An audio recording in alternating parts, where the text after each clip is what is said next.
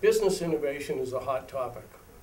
In this book, I Shift, written by business attorney and entrepreneur Gene Seifley, is short and easy to read and includes lots of practical tips.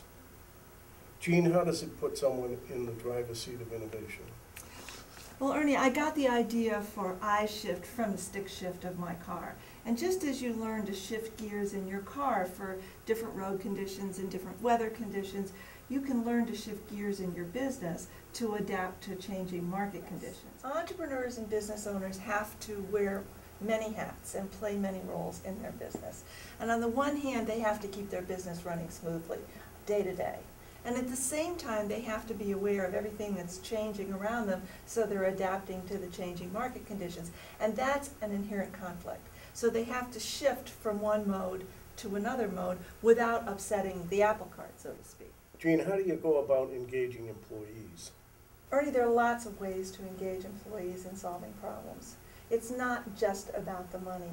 Employees want to do meaningful work. They want to make the world a better place, a greener place.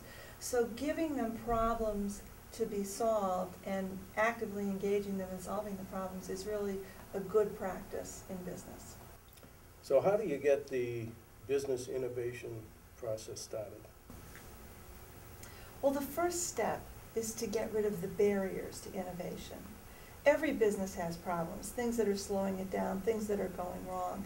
And if you can work on improving the infrastructure in the business, you can free people up to do more important work. So just like sidewalks and roadways and infrastructure in cities make cities work better, the infrastructure in a business can make it work better and it can free employees to have time to focus on solving bigger business problems.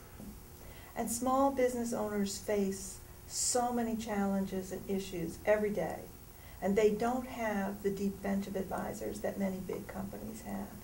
That's why this book can give them a lot of information in a very easy to use and apply format.